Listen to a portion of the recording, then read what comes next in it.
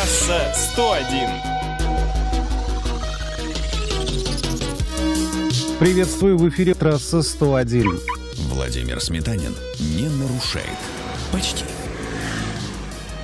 Программа утилизации автотранспорта, возможно, будет снова запущена. Задачу проработать вопрос президент Владимир Путин поставил перед правительством.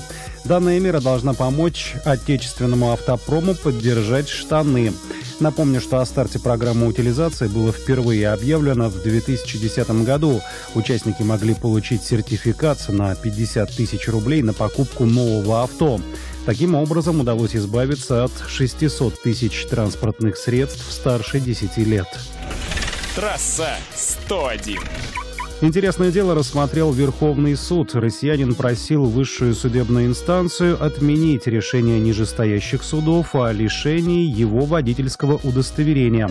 Мужчина уверял всех, что не употреблял ни грамма спиртного, выпил лишь немного корвалола по назначению врача.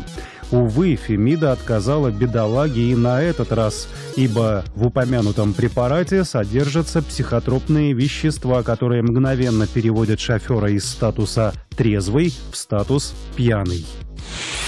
Трасса 101. Общественная палата Ленинградской области наехала на начинающих водителей. Таковыми у нас официально считаются автомобилисты со стажем до двух лет. Представитель палаты, будучи уверенным в том, что новички за рулем крайне опасны, предложил считать, сколько раз они попадут в ДТП.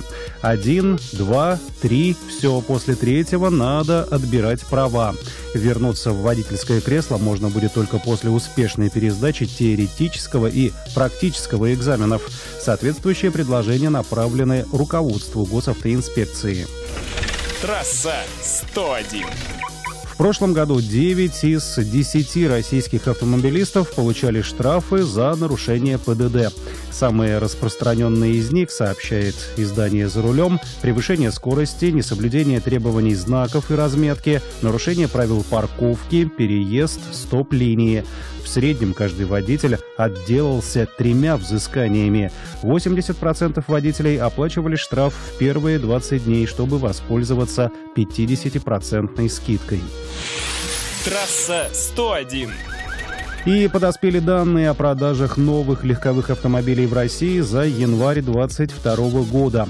Лидер последних нескольких месяцев «Лада Веста» опустилась на вторую строчку. Возглавил перечень корейский бестселлер «Киа Рио», а «Лада Гранта» замкнула первую тройку. Если говорить об актуальных минимальных ценах на эти модели, указанные на сайтах производителей, то это, соответственно, почти 1 миллион рублей, 863 тысячи и почти 600 тысяч.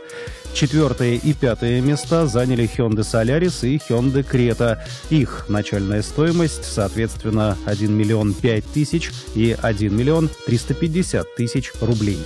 На этом все. Вопросы и комментарии оставляйте на сайте Эхо Кирова. Подписывайтесь на наш телеграм-канал «Трасса 101». До свидания. Трасса 101.